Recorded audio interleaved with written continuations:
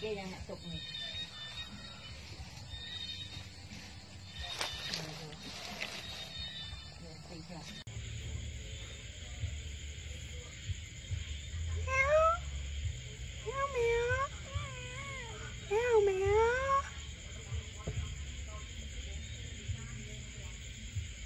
mình xa món chồng của tình anh hàng thì là ép ấy đang là lý